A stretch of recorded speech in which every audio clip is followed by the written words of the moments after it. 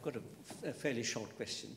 Uh, that is that um, what you've just said and, and uh, talked about seems to me relig- all religions, uh, you know, Christianity and, and the others as well, is an attempt to explain certain things. It's almost an adjunct of psychology because it's dealing with how the human being will try to make some sense of it.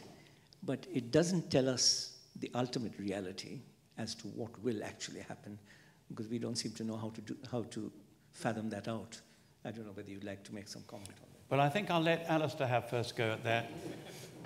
Well, I think um, if you look at people like Crystal Park or Ken Pargament, who are leading research psychologists in the States, I mean, I mean they would say this, that empirically there seems to be something about human nature that makes us want to, to find meaning in life.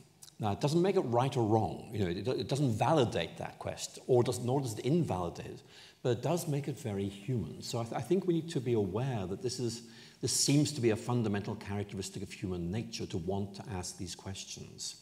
That doesn't necessarily mean that there is meaning to be found. So, you know, you, you might say, well, that, you know, it, it, there's clearly an issue, you might make this up. But it, it doesn't imply that at all. It, it may mean, look, I get hungry from time to time, and that's because there's food to be had and I need it. Uh, and maybe there's a correlation here too, that actually meaning is meant to be found because there's something there. So I think that you're asking the question as to whether religion is a kind of extension of psychology. I think the way I'd frame it is, is I think psychology helps us to see that being human is about asking these deep questions of meaning and looking for answers. But psychology itself is very, very good at helping us see what we do. It doesn't necessarily mean that because we do this, either we are right or wrong in doing so. It's just that we do this. So for me, um, in many ways, one of the things that religion is doing, but it's not the only thing, is beginning to develop a system of meaning. By meaning, I think mean things like um, what I understand my purpose to be, what I understand the purpose of life to be, what is good, what is not good, and so on.